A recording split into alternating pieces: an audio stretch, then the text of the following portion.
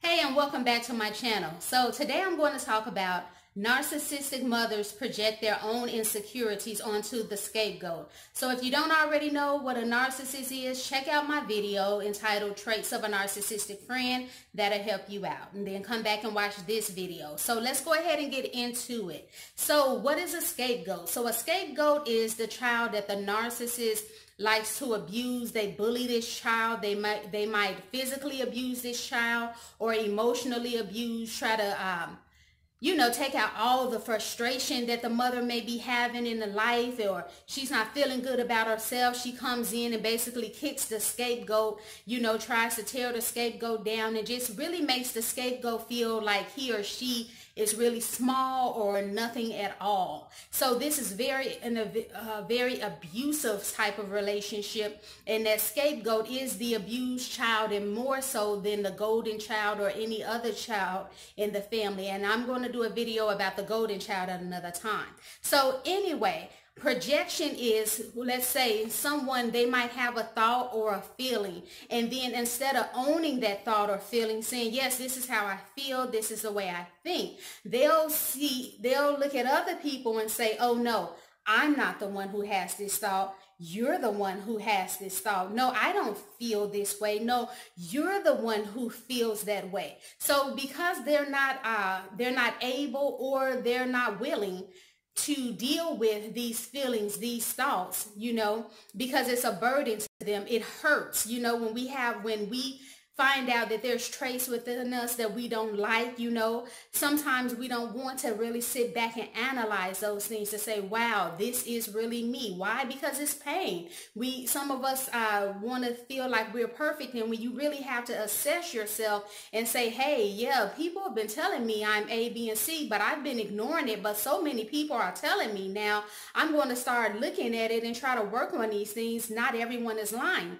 But the narcissistic parent is not going to do that, especially I'm talking about the, the mother. She's not going to look into herself and go to therapy because when you do that, you have to be able to admit that something's wrong. You're not as pristine as you would like the world to make yourself think. And a lot of times the narcissists, they won't go into therapy because they're so fragile from whatever abuse that they might have experienced while they were growing up that they have to feel like they got to hold themselves together and they've learned how to um, to deny that that low self-esteem you know they so they try to project this um, i'm great and look you know look, look at me and i'm the best at the things that i do because they don't want to feel that hurt. So if they feel that they are weak you will never know about that. They're, they'll try to say, if you're the daughter, they'll say, well, I, the mother, I'm not weak. It's you that's weak. Or let's say, or if they're not, uh, if they don't feel so smart, they'll say, well, it's not me that's not smart. It's you that's not smart. It's you that has the, has the problem.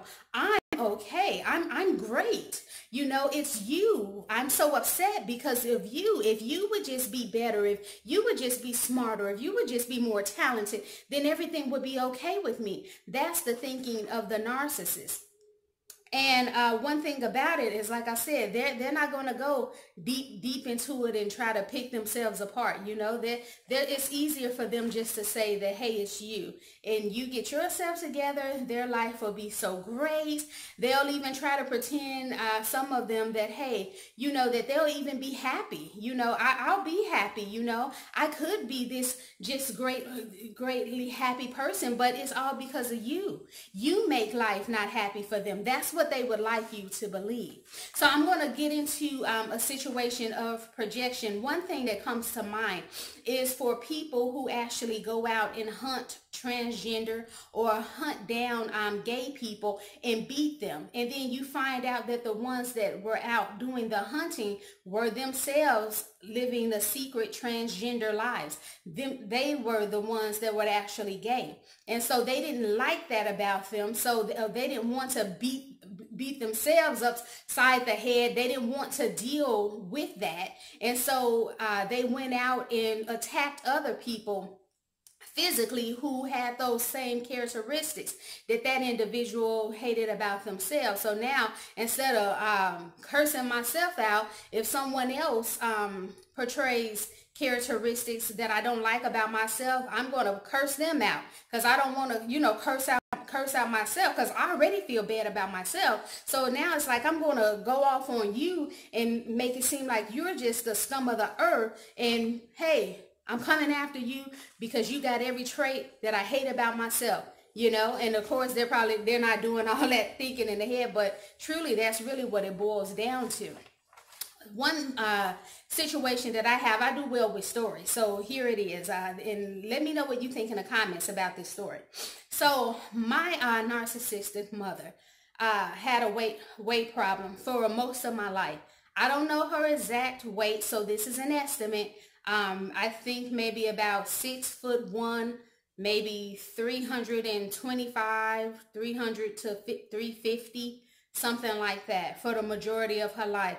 Um, always, of course, never saying anything about her weight. Of course, she didn't want to come off as if she had any flaws, but the behavior was evident. So even as a child, I grew up with her being on every type of diet. Uh, Nutrisystem, Jenny Craig, the um, cabbage diet, uh, the grapefruit diet, uh, Slim Fast, any diet there was, she was on it.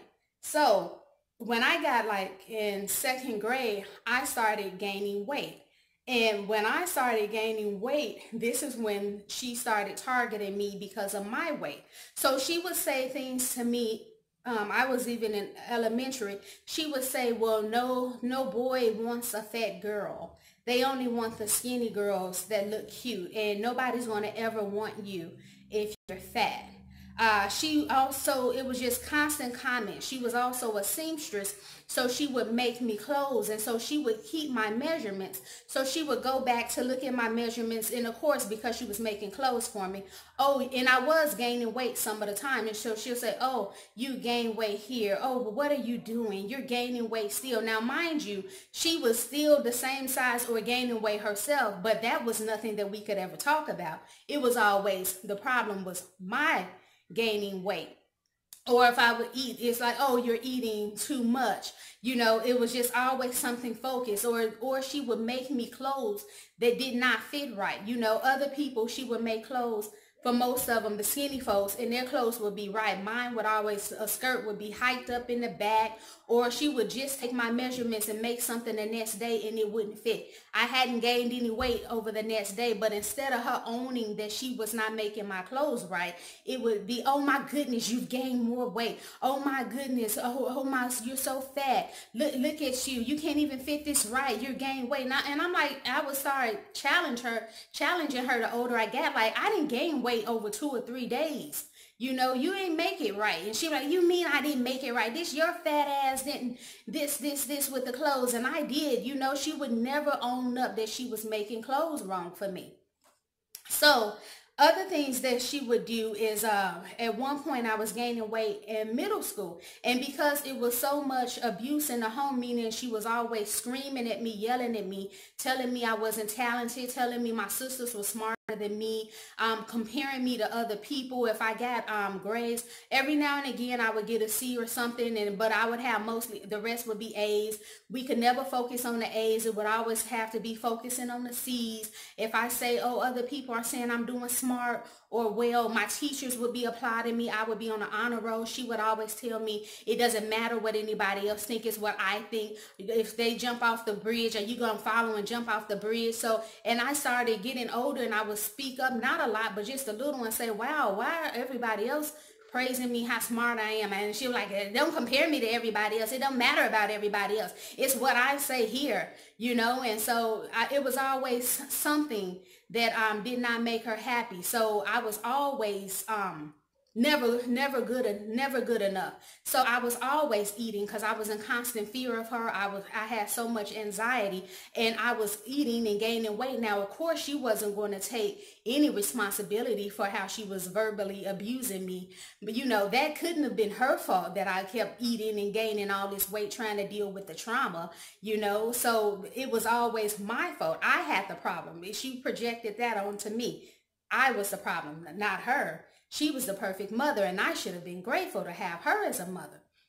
So in anyway, in middle school, she has she said that um at one point um for one grade she wasn't going to buy me or any more clothes or make me any new clothes until I lost weight.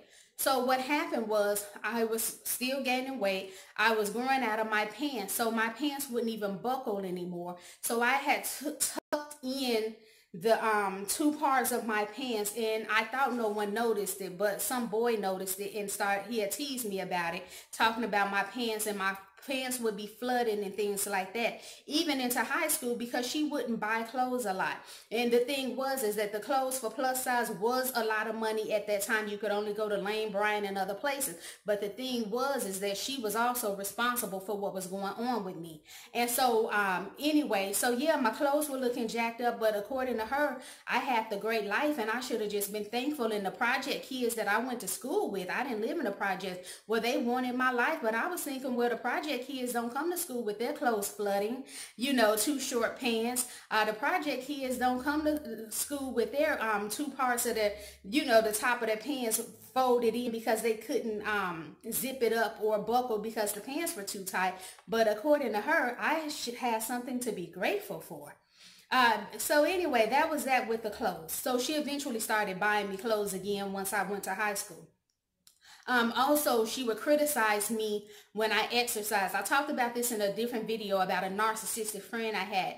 So I end up attracting a friend who was the same way, and that's because I didn't have good boundaries. So anyway, I would try to exercise, and my mother would sit back at, um, by her computer and look at me and critique. Oh, you're not um, squatting deep enough.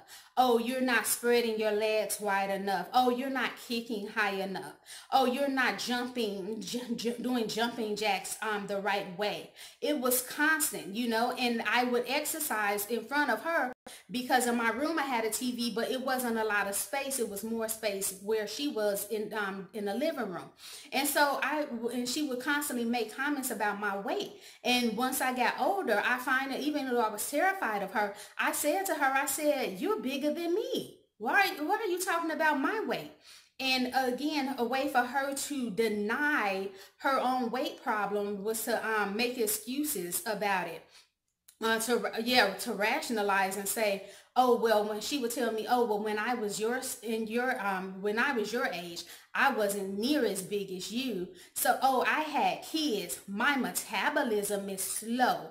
So, you know, that, that, that, what is your excuse? And I say, well, so-and-so we know has six kids and she's skinny. She would say, well, that, that, that has nothing to do with me. Her metabolism is different from mine. My metabolism has always been slow, you know, going off on me. And then, you know, she would find ways to punish me and to embarrass me because I stood up for myself. But she, we could never talk about, you know, her own weight problem. Everything had to do with, um, you know, with my own, with my own issue. And needless to say, you know, she would criticize my weight and wonder why I'm getting so big, but we would eat out like three to four times a week. Uh, church, not, not churches, Kentucky Fried Chicken, Popeyes, Little Caesars, fried fish places, fried chicken places. She would have me go buy her whole cakes and she would eat it. And of course, I, I had to serve her. I was the slave. So I would have to cut her cakes and I would always take pieces off her cake, hoping she would notice. But I would have to, she would have cake and ice cream. So she would basically eat a whole 8 inch, 10 inch, 12 inches cakes by herself and nobody was supposed to eat it. Or she would have New York cherry ice cream and the whole um, container, the pint, you know, would be for her. Or I had to go buy her brownies and all this kind of stuff. And she's wondering why I'm fat. And she's talking about metabolism. But she eating enough for I don't know how many people. But it's her metabolism. Okay. I guess it wasn't that whole birthday cake she ate. But anywho, so also, um, one time uh, we were at my um, my great grandmother's house and my mother's father was there and it shocked me because I don't think I don't recall her talking about my weight a lot in public but she did it this time she said in front of him hey dad you know um, look at how big Samyra is. And she said, would you tell her that when I was her age, I wasn't her size? And he looked at me and said, oh no, you weren't fat like that when you were um, her age. So that at the time, I didn't know the word for narcissism, but I knew something was wrong there with her and with the with um, grandpa. And so now I can look back to see that in some cases, narcissism does not fall far from the tree. If you catch my drift, that was his response.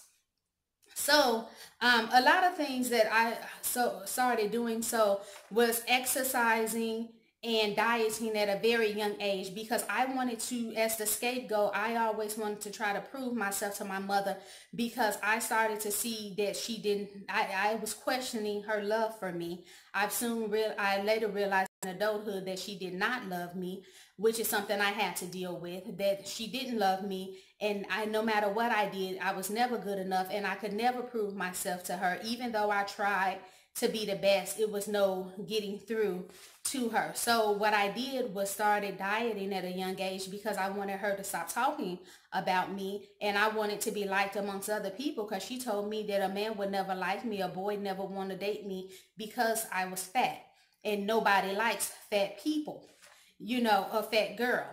And so I started Slim Fast at about 9 or 10. Then I started doing every diet she was doing. So if she was on Nutrisystem, so was I. I was doing the cabbage meal. She was lazy. I was the slave. So uh, her cabbage stuff, I had to make up all the cabbage for the week. I would have to fix her food for all her grapefruit diets. I was on every diet. So as I grew up, um, even as an adult, she would go and get different pills uh, for doctors. Then I would convince her, oh, buy me the pills too, buy me the pills. So I would have the water pills and all the other pills. Later on in life, I kept on with that. I was never um, confident with my weight. I was always on some diet, always exercising. I lose a little weight, gain it back or gain more. One time I lost probably about 80 something pounds, had gotten to a 12, had never been to a 12.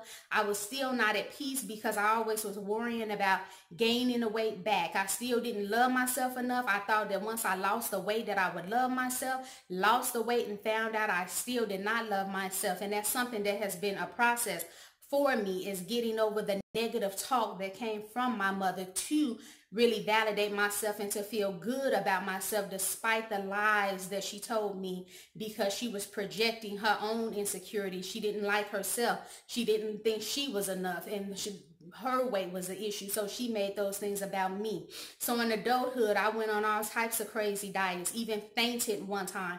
I was doing a diet so well and because I wasn't, I was HCG, I was only eating like 500 calories and taking the HCG.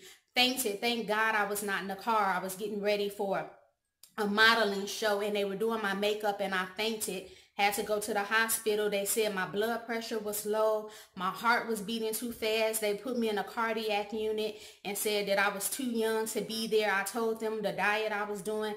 They cautioned me from doing that, saying that you're only 20 something years old. You should not be on the cardiac floor, you know, um, and it was just a lot of different stuff. Um, even developing a binge order, not purging, not vomiting, but um, feeling so out of control with life and not loving myself and um, having issues with the food that I was eating constantly felt like I couldn't stop.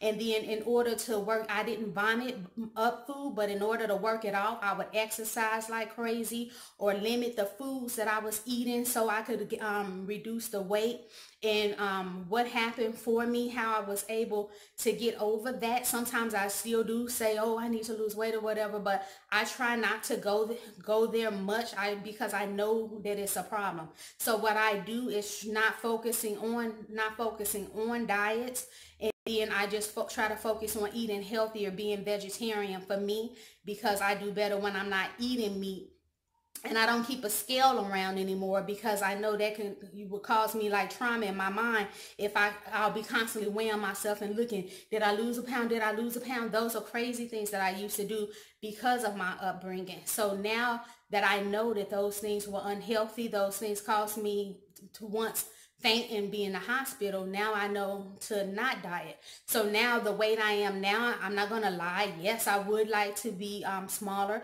but I know that there's things that I can do in a healthy way to get to that weight. And I know that one day I will you know, reach my goals. But I'm no longer being hard on myself. I'm trying to practice that same love that I would give to somebody else who grew up with a narcissistic mother. So I'm learning to be kinder to myself, not going on these yo-yo diets. And when I stop dieting, I gained all that weight from a 12 and went back to my normal size. And people were like, oh my God, what happened? What happened? But the thing, I knew what happened. I stopped yo-yo diet and I decided I did not want to die, you know, from some freak accident because of fainting. And then it got me back a lot, a lot bigger, but it got me back where I was no longer doing those crazy diets and where I, you know, more healthier because I was on the road to destruction. So I don't say these things to be a victim. My thing is, is that I'm thankful for YouTube channels like Inner Integration and another channel, Permission to Exist, and to Lisa A. Romano, because people like that were able to help me see why I was having the challenges I had in my life due to a narcissistic mother. So I watched those binge watched those videos and other videos to learn how to heal. So I hope you got something out of this video. This is not about being a victim and wallowing in it. Woe is me. This video is about being a conqueror saying, yeah, my mother hated me. My mother did not love me no matter what other people around me tried to say. If someone loved you, you know. Ain't nobody got to come around you telling you, oh, they love you, they love you. That is a sign something is wrong if other people got to say, don't worry, she loves you, she loves you. Because they know it, that's a bunch of bull. But the thing is, I had to get to the point to say, hey, I'm nobody's victim. I, I dealt with this. Somebody who was supposed to be there, who I thought was supposed to be there to love me, to support me, try to basically have me in a mental institution the way she was playing mind games. She was not um she was aware of what she was doing because even once when I got older, she basically started telling me, you know, she she knew what she was doing. She would tell me, oh, Samara, you so gullible. Oh, you need to wisen up. Oh, you need to get a poker face. Oh, you need to do this. It was like she was trying to prepare me, you know, to wisen me up so I could be, so I couldn't be such an easy target for her.